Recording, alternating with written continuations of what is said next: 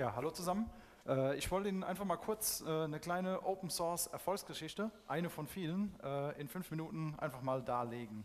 Und zwar geht es um Webmapping und zwar das Styling von ähm, Vektordaten in Web-Apps. Das wird immer so ein bisschen stiefmütterlich äh, behandelt, meiner Meinung nach. Ähm, natürlich kann man irgendwie Punkte rot machen, Linie blau, ein bisschen dicker, aber sobald es in richtige kartografische Styles geht, ähm, ja, verschließen, ähm, ja, kriegen viele Webentwickler dann äh, den, ja, den Collar irgendwie, ähm, weil es dann irgendwie zu komplex wird. Jetzt werden sagen Sie wahrscheinlich, naja, es gibt doch OGC SLD, einen Style Layer Descriptor, ist doch alles cool, OGC Standard, ähm, warum ist das trotzdem noch ein Problem? Kurz vorweg, OGC-Standards sind super und total wichtig, aber beim SLD bin ich mir da nicht so sicher, ob das für Webmapping-Anwendungen das Richtige ist. Das ist XML-basiert, das ist aufgebläht, man braucht einen extra Parser und das Schlimmste, warum oder meiner Meinung nach äh, SLD sich nicht so durchgesetzt hat wie andere OGC-Standards, ist, dass es keinen What you see is what you get Editor gibt, also keinen zuverlässigen zumindest. Ich schätze, QGIS ist da noch am nächsten dran, um SLDs zu erzeugen.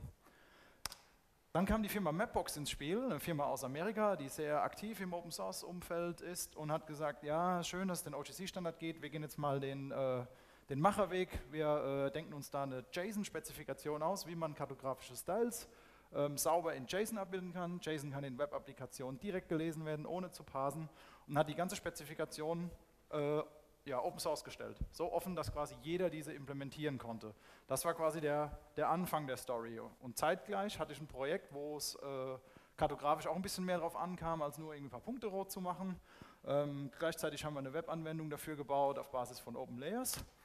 Und dann war ich auf der Phosphor-G 2016 und habe quasi den Andreas Hotschewa, einer der Open Layers Entwickler, gefragt, du hör mal, das ist ja eigentlich ganz cool mit der Mapbox und äh, wie kriege ich das jetzt in meine Open Layers Karte? Und dann meinte er, und das war die Antwort, die ich gehofft hatte zu hören, ja, da bin ich an was dran. Äh, kommst du mal in zwei, drei Wochen, dann ist das eigentlich schon cool. Ja, gesagt, getan, war daheim, hab das mal ausgecheckt, super, kannst die Mapbox-Styles äh, quasi durch so eine Engine laufen lassen und hast dann direkt deine Open Layer Styles und kannst deine Open Layers Karten super stylen.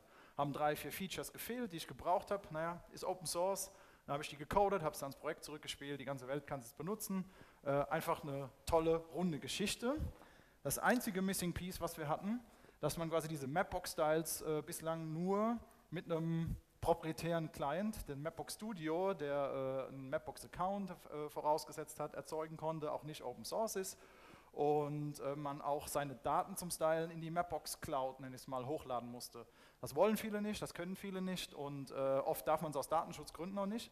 Und dann kam dieser junge Mann ins Spiel, der Lukas Martinelli, ähm, und hat quasi eine äh, Crowdfunding-Kampagne gestartet und hat gesagt, hier, ich will so ein Mapbox Studio Open Source äh, Pendant bauen, dafür brauche ich aber ein bisschen Geld, um das irgendwie quer zu finanzieren. Ich vermute, so gefühlt hat er nach zwei Stunden die Summe erreicht gehabt, die er gebraucht hat, weil super viele Leute einfach nur darauf gewartet haben.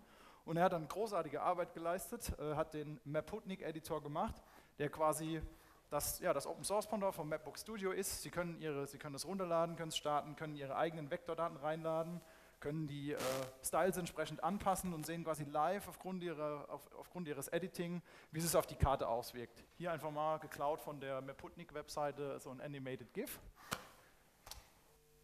Und letztlich haben wir dadurch, durch die volle Power von Open Source, jetzt so ein Stack, wo wir äh, diese Style-Spezifikation, die unglaublich großartige Möglichkeiten äh, mit sich bringt, rein mit Open Source Komponenten zu verwenden. Und für mich persönlich in meinem Stack war das quasi dieser Mapotnik dann der Anfangspunkt.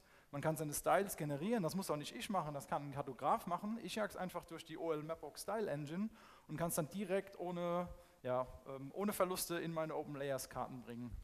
Und im Prinzip das alles dank Open Source und das ist einfach großartig. Und dafür einfach mal Danke an alle, an die Community,